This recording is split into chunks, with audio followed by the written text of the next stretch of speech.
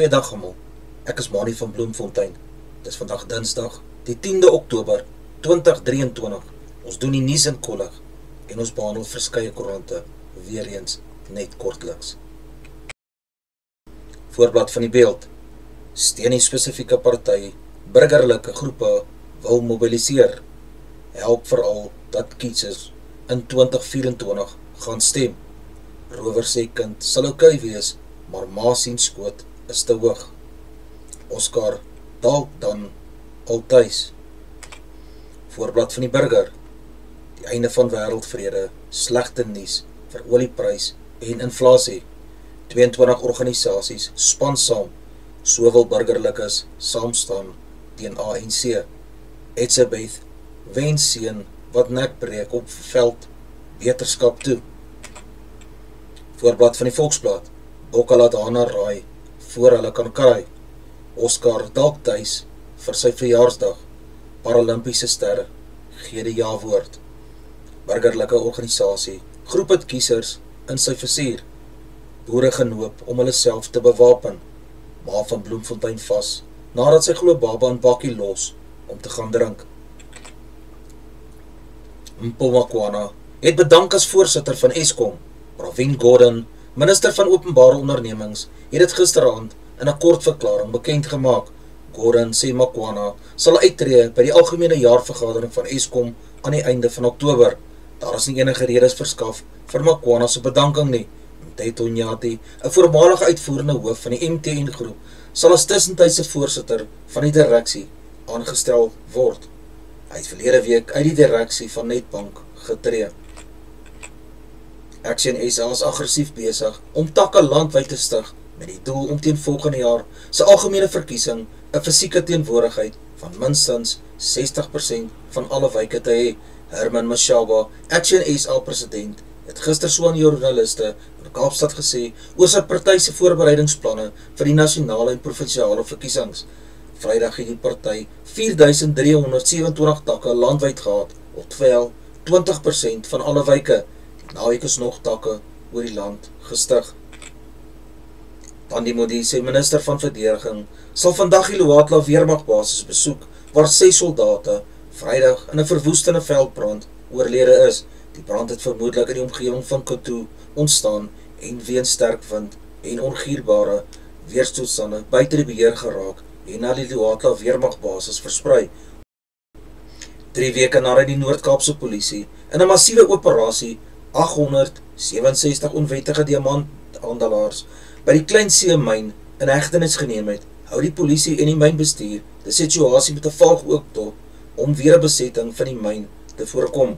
Inwoners van Klein See was geweldig angstig toe hulle die onwettige delwers 2 dae na die operasie al die pad van Springbok af na Klein See te voets teen die Spectable Bergpas sien terugkeer het.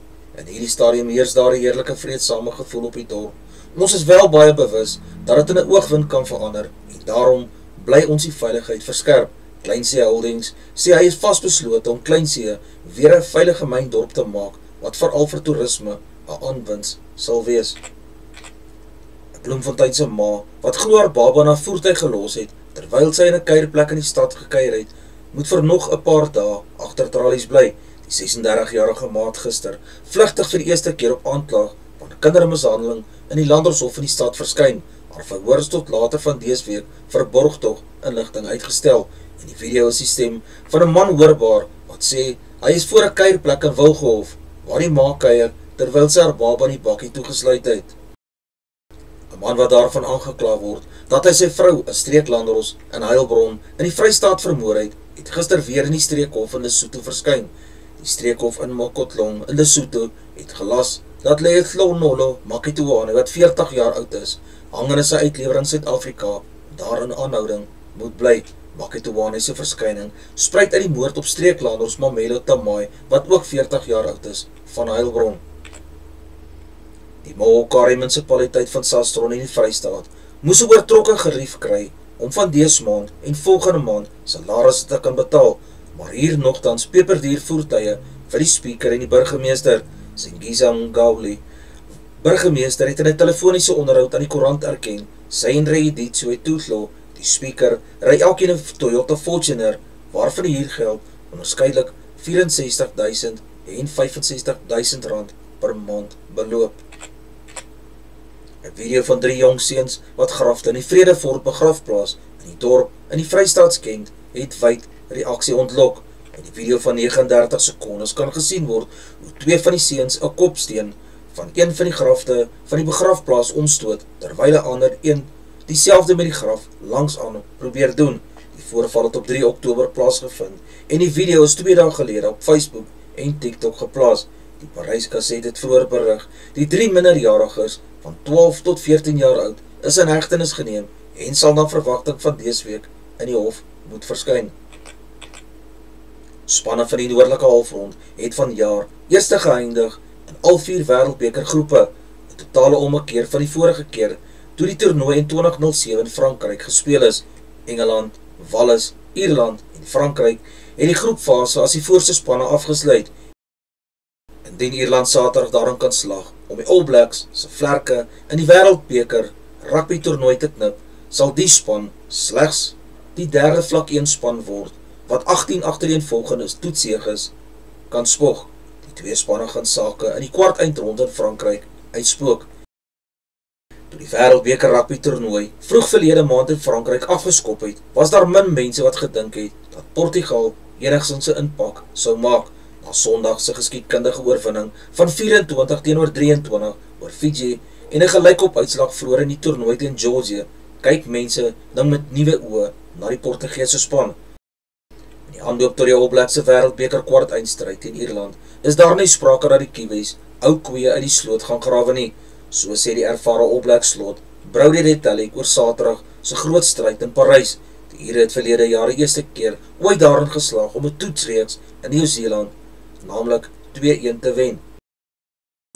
Michael Cheka, hoofafrigter van Argentinië, sê die verwagtinge van die ondersteuners van sy span koester verhoog die druk vir Saterdag se Wêreldbeker kwartfinale teen Wallis.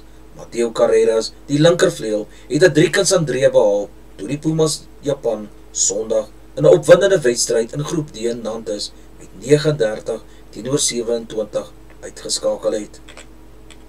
Die Springbokke sal eers vanaand weet of die Engelsman Wayne Barnes of die Nieu-Seelander Ben O'Keefe die skeieregter in Sondag aand se kwartfinale teen Frankryk in Parys gaan wees. Woordvoerder van Wêreld Rugby, het aan Netwerk 24 bevestig die aankondiging oor die blaasers vir die kwart eindronde word vanaand gedoen. Advertensie van Netwerk 24 teken in vir R119 per maand en kry verskeie tydskrifte en koerante. Advertensie van Bloemkeel vir jou.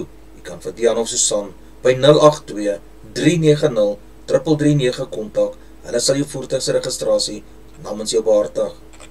Ons Weerberg Vrystreek, Pretoria 1631, Johannesburg 1528, Sasolburg 1432, Kroonstad 1332, Bethlehem 1029, Welkom 1533, Bloemfontein 1133, Allewal Noord 830, Bakley Oos 624, De Aar 928, Mbombela 1523, Springbok 1425, Kofinia 1025, Sutherland 422, Kaapstad 1325, George 12 en 18, Beaufort Wes 1024, Oudtshoorn 926, Craddock 923, Graafrenet 1022, ons Londen 1418, Durban 18 en 23 grade Celsius. Ons sakenies vir die dag, die rand verhandel teen 19 rand en 41 sent teenoor die Amerikaanse dollar, 'n euro kos 20 rand en 46 sent. 'n pond kos R23 en 68 sent. Die prys van goud is 1850 dollar per fyn ons. Die prys van Brent olie het weer eens gestyg en kos 87 dollar 72 Amerikaanse sent per vat. Dis al vir vandag. Onthou om te like, deel met jou vriende en jou vriendinne en onthou om te subscribe op my kanaal. 'n Aangename dag vir julle.